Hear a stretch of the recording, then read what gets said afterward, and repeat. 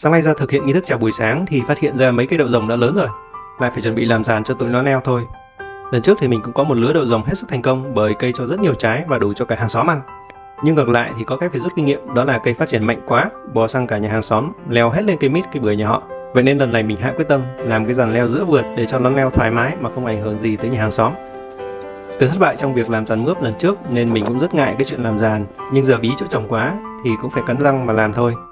Nhà được cái có nhiều đồ lặt vặt, nên đi lượm lặt quanh vườn là có đủ đồ để làm giàn rồi. Làm xong mình mới thấy cũng đơn giản mà cũng không tốn nhiều công sức lắm. Làm một lần hết có vài chục phút mà có thể dùng được quanh năm. Làm xong cái giàn này tự dưng mình lại có cảm hứng để trồng thêm mấy cái cây dạng leo rồi đấy.